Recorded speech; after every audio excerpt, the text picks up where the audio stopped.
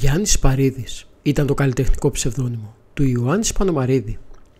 Γεννήθηκε στην Κωνσταντινούπολη στις 13 Αυγούστου του 1898 και έφυγε από τη ζωή στις 28 Οκτωβρίου του 1973.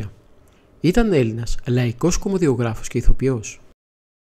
Εργάστηκε κυρίως σε μουσικούς θειάσους και βαριετέ. Πρωτοεμφανίστηκε ως εραστέχνης ηθοποιός στο Τσιβρίν της Μικρασίας με θείασο ψυχαγωγίας των στρατιωτών του Μικρασιατικού πολέμου.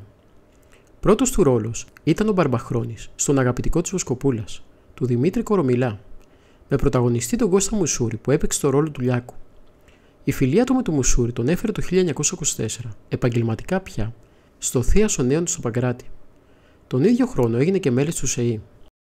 Το 1929 εμφανίστηκε στην επιθεώρηση Λοβιτούρα στο Θέατρο Λαού και από τότε παρέμεινε στο Μουσικό Θέατρο, Συνεργάστηκε επί σειρά ετών με το θεατρικό επιχειρηματία Ανδρέα Μακέδο στο θέατρο Μοντιάλ.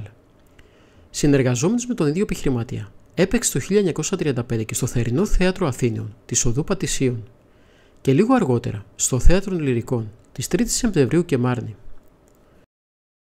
Στο μεταξύ είχε αρχίσει στα τέλη της δεκαετίας του 30 να εμφανίζεται και στο Βαριετέ, όπου και καθιερώθηκε οριστικά με τον τύπο του Αρμένια Γκόπ, ο πραγματικός Αγκόπ όμως είναι ο παλιός ηθοποιός Φίλιο Φιλιππίδης. Έτσι το συναντούμε εκείνη την περίοδο, στο βαριετέ όαση του Ζαπίου, με καλλιτεχνικό διευθυντή, το γνωστό επιθεωρησιογράφο Θήσβιο. Μεταξύ άλλων, έλαβε μέρος και στο νούμερο Περιφερόμενων Κουρίων, μαζί με τους Γιάννη Διανέλου και Κίτη Άλμα. Κατά την περίοδο της κατοχής ήταν οργανωμένος στο ΕΑΜ.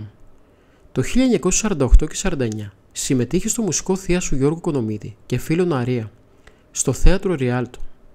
Τιμήθηκε από την πολιτεία με τον πολεμικό σταυρό. Εμφανίστηκε και στον κινηματογράφο.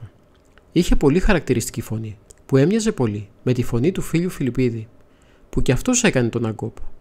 Συμμετείχε σε πολλές ταινίες και συνεργάστηκε με τον Θανάση Βέγκο. Μία από τις τελευταίες του ταινίες είναι το έργο Δύο τρελοί και ο Ατσίδας το 1970.